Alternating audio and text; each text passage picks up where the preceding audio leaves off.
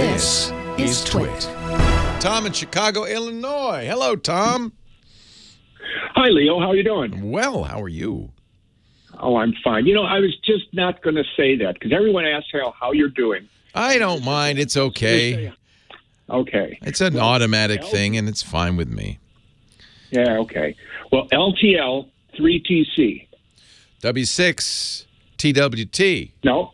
No. no What is LTL 3BC? 3TC. What is it? Long time listener. Long time listener. Third time caller. That's the three through me. yeah, I, kn- I knew it would. I knew it would. Welcome. Do I sound okay? You sound great. What are you on? Well, I'm I'm using my AirPods with my iPhone. Oh, this sounds And- really and- good. Because the first time I called you, I just used my my iPhone about three years ago, and it was sounded awful. Yeah, no, this sounds And- clear as a bell. And last year, I used my Plantronics USB Yeah. and called on Skype. And when I listened to it, I sounded so hot, it, it was ridiculous. So the third time's a charm. Yeah. The reason I'm calling you is I belong to a, an older men's organization, and I've been trying to uh, get my fellow members to put in their emergency information in the health app Yes. in their in their iPhone. Yes. and uh, and I, I point out that the the emergency technicians can open it up and find out this information without knowing their code. It's called ICE in case of emergency. And it's really important. Uh, You'd go into the health app on your iPhone, and there's a section for in case of emergency. And you're right, they don't have to unlock the phone, which makes it. And in fact, I know first responders know enough to, to when they see a phone. I've talked to first responders. They say the most important thing we want is not blood type or uh, allergies. Frankly, we want next to kin. We want somebody to call but uh, they will, of course, pay attention to you know allergies. They don't want to give you uh, something that that will make you sicker. So that is a very important thing to have. Ice. yeah. Yeah. But then uh, other people say, "Well, gee, I have an Android. How do I do that?" And I go, "I don't know." and I've Googled it, and I haven't found any way that you can open up an Android phone like without a code. Yeah, yeah. Because it's nice on the iPhone because uh, it's it's there before you get into it, and and first responders know how to do it. The problem is there's so many different Android phones, and the rules for how to do this vary depending on which Android phone you have. I think that is a big deal. Um, I don't know if there's a standard way to do it anymore. There used to be on Android the, in the early days. Uh, you know, um, one way to do it, and, and you and you and you, this will depend very much on which Android they have. Samsungs, for instance, have owner an owner info section that, when the phone is locked, will scroll across the phone, and at least that would give them some information. Uh, you can also on a Samsung phone update your profile in the Contacts app, and you'll notice there's medical information in there. And then you can also uh, set ICE emergency contacts. I think that's there by default on Samsung phones. So you want to add that. That's very important. But but look at the lock screen message. Most, uh, not all, unfortunately, many Android phones have a lock screen message, and you could put information there. If nothing else, put a uh, contact phone number because the, the, as I said, the first responders. That's the thing they tell me that they. And if you're a first responder, uh, uh, let me know if I'm wrong on this. But I've talked to a couple, and they said, "Look, what we really want is that emergency contact number." So at the very least, you know, put that in your lock screen message. You could say ICE and a phone number, and people will know what that means. The first responders will know. And if you don't have that feature, the one last thing you can do, and this is true on any phone, you know, you have a lock screen image, the thing that shows up. You can use a, a photo editor with that lock screen image and put some information there. Now, remember, everybody will be able everybody will be able to see that.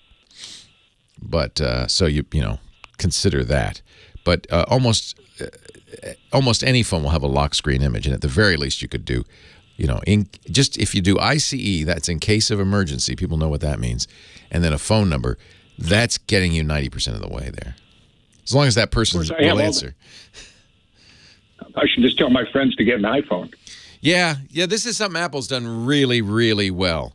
Uh, I, I wish every I don't know you know Android. The problem is Android is not unlike iOS. It's not a unified ecosystem. There's lots of different Android phones and lots of different ways to do it. So on the iPhone, it's this very summer easy. I this summer I was at an amusement park and on a roller coaster, and my phone started ringing. So when I when I got off, I went and looked at it, and it was a local call. And I thought, well, maybe this is my hotel. I better call it. So I call, and I get the police, and they said we just had an emergency call from this phone. wow. And I said, "Oh my God, no! I just had it in my pocket. You know, I must have done it. I'm so sorry." It was the roller coaster. Okay. she goes, "Are you on the Intimidator?" I go, "Yes, I am." She goes, "Oh, good. Our GPS is really good." They knew exactly where you were. And you know, yeah, they probably knew I was going down the big hill. it's scary enough. You could have had a heart attack on that thing. I maybe they maybe maybe they knew. Yeah, they uh yeah, I boy, I'm you're exactly right. Tell everybody you know and everybody in your men's group. That is a very especially as we get to a certain age. That's a very important thing to have on there as you're in case of emergency information. Uh, but unfortunately, with Android phones, there's no single way to do it. Uh, so Samsung phones do have a way, and other phones, if you at least in the lock screen, put it in a lock screen message or on the lock screen as a as text. well, I appreciate it. Thanks a lot. My pleasure. I'm gonna look here. Somebody's saying uh, I'm gonna look on my Pixel phone, which is kind of the default um, Android phone. Somebody's saying that they also have an ICE entry under contacts. So I'm going to search for ICE. No, all I'm getting is ice cream stores. That's not going to help my heart health. yeah, but it's really a great idea because we all now have phones uh, in our pockets all the time. Um, and uh, it's a good thing. Just remember, if you do put it on the lock screen message or edit the photo, the lock screen photo with the phone number, that anybody can see that. I don't, you know, I don't know if that's a bad thing or a good thing, but that's the case. Scooter X saying Android 9 has, which is uh, Android Pie, the latest, emergency information section for access on the lock screen. Excellent. Excellent. So uh, that fewer than 1% of all Android phones are on Android 9. However, uh, if you are, it's in there. I guess I'll have to figure out where do they where do they keep that Scooter X? He's in our chat room. Is that uh, in contacts? It should be more obvious. And on, and on the iPhone, and I know most people have iPhones. More than half of smartphone users in the U.S. are on an iPhone. Just go to the Health application, which is on all iPhones, and you'll see in the Health application there's a place that you can put emergency medical information. They call it Medical ID. Fill that all out. That's all you need to do. It's that little asterisk on the right at the bottom.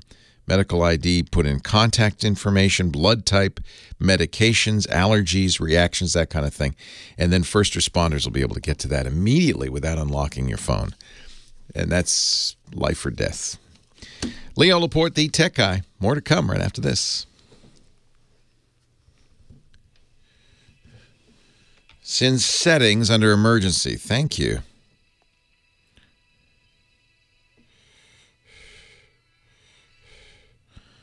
Uh, oh, I'm on an iPhone. I get conf- I get con- I get confused. Let me do this real quickly here and see. So here's um, settings, emergency. There you go. Emergency information. It's system about phones. Yeah. There you go. There you go. Whoops. So fill this out. Medic. Oh, there it is. Good. So search for emergency in settings. I'll say that when we come back.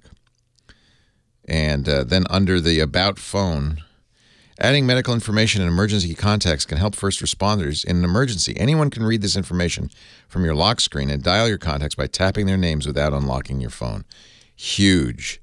Huge. Look at this. Uh, and you could see I haven't filled mine in. So I will do that. That's awesome. And uh, Out of Sync says Android N has that as well. And you know, we're going to make this the tip of the week because this is so important.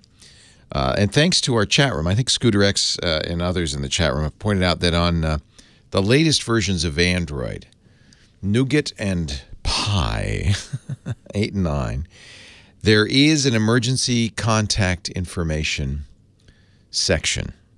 ICE in case of emergency. And the way to find it is to open the settings and search for emergency. And you'll see under About Phone, at least on a stock Android 9 phone, which I'm using right now, the Pixel, you'll see under System About Phone, there's an emergency information section. You can fill that out. Make sure you fill out the personal information, things like blood type, allergies, medications, organ donor, and then add at least one phone number, two if possible, for emergency contacts. And the first responders know that they can read that information if your phone is locked by swiping up on the lock screen to the pin. You could you could try this yourself. At the bottom of the uh, pin pad, there's the word emergency. I always just assumed that was to make an emergency call, but when you press it, you'll see emergency information, and you can and you can hit the emergency information that way. So that is a that is a really good feature to enable on modern Android phones. Samsung has a similar feature. iPhones uh, with the latest versions of iOS, I think it started. I don't remember when it started, but uh, maybe iOS 11. It, you go to the Health app, and in the Health app, there's a medical ID section. You can fill that out, and it'll have all the information that first responders need. If you're unresponsive, but you've got your smartphone with you, they can get the information they need, and that does make a big difference in uh, getting help.